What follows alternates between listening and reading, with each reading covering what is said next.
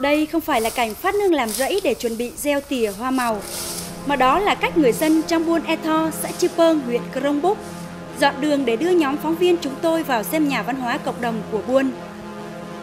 Hỏi vì sao nơi sinh hoạt văn hóa mà lại như thế này? Những người dân và cán bộ buôn ở đây bảo là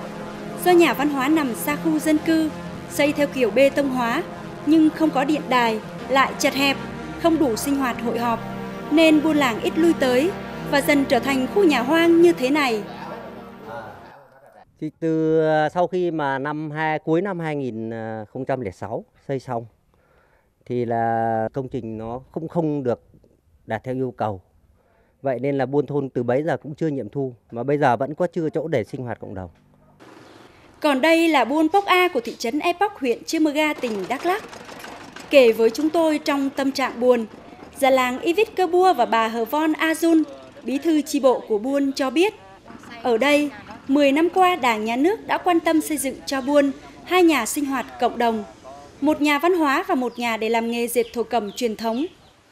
Nhưng do hàng thổ cẩm dệt xong rất khó tìm kiếm đầu ra để tiêu thụ,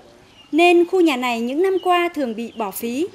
Và cũng không ai tư vấn giúp cho bà con trong buôn, nên sử dụng nó vào việc gì khác cho hiệu quả hơn. Còn phía bên kia, nhà văn hóa của buôn Pốc A cũng do xây theo kiểu bê tông hóa, lại chật hẹp, không phù hợp với tập quán sinh hoạt lễ hội cồng chiêng của đồng bào là cần một không gian mở, dễ lan tỏa, giao thoa gần gũi với thiên nhiên, với cộng đồng buôn làng xung quanh, nên lâu nay các đợt sinh hoạt văn hóa, hội họp của buôn thường được tổ chức ở ngoài sân như thế này. Gần 10 năm rồi, nhưng mà cái nhà này không thể hoạt động được bởi vì coi như là dân à, biết rét thâu câm, nhưng à, là cái chỗ sản xuất thì không có. Cho nên là để như vậy là nhà này là lãng phí, nhà nước đã đầu tư rồi, nhưng mà không có hoạt động. Bữa nay là cái nhà sinh hoạt cộng đồng của buôn bốt chúng tôi ấy là mỗi lần cuộc họp là chỉ là họp được hơn 100 người. Còn nếu có cái cuộc họp phát động quần chúng của buôn nó phải họp ở ngoài, tại vì cái số dân nó họp nó đông tới hai ba trăm người, cho nên là phải họp ở ngoài sân từ năm 2005 đến nay chuyện nhà văn hóa cộng đồng bị bỏ hoang lãng phí hoặc phát huy hiệu quả thấp không chỉ diễn ra ở các buôn nêu trên, mà đó là một thực trạng chung của rất nhiều buôn làng khác trên địa bàn tỉnh Đắk Lắk. Mỗi buôn được đầu tư hơn 100 triệu đồng để xây dựng một nhà văn hóa cộng đồng.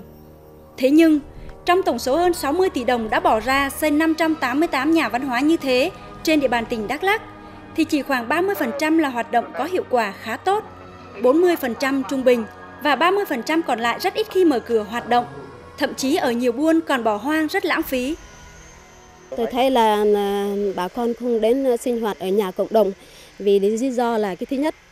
là nhà cộng đồng ở xa trung tâm, cái gì phải mượn hết, nước sinh hoạt cũng có này, điện cũng không có, cho nên là dân nó ít ờ, ra.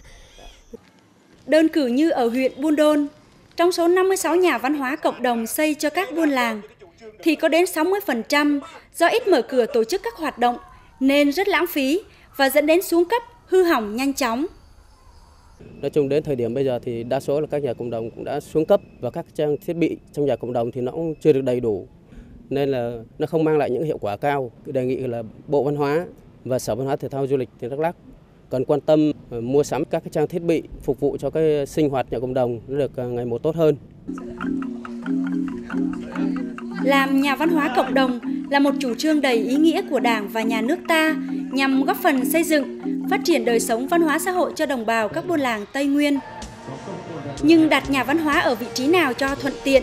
đúng với không gian sinh hoạt tâm linh của cộng đồng buôn làng. Rồi phải làm bằng vật liệu gì, kiến trúc ra sao cho phù hợp với quan niệm thẩm mỹ truyền thống, hiểu được tập quán sinh hoạt lễ hội cồng chiêng và cách phối hợp tổ chức các hoạt động văn hóa xã hội thường xuyên như thế nào trong nhà văn hóa cộng đồng để cuốn hút đồng bào đến tham gia. Đó mới chính là những điều quan trọng nhất mà các cán bộ, người làm công tác văn hóa ở các địa phương phải cân nhắc, suy nghĩ để tìm cách làm thức dậy, làm sống lại những nhà văn hóa cộng đồng ở các buôn làng đã bị bỏ hoang, lãng phí như lâu nay.